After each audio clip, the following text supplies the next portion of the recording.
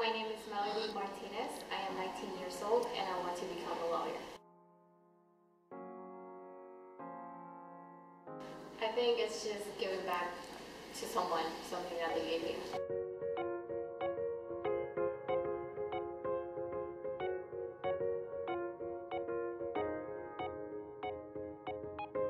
I think it's a way to express your voice, to speak out loud and um, vote for the people that share your ideas.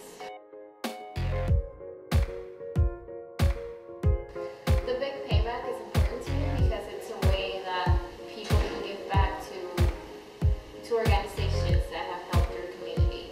And TIRRC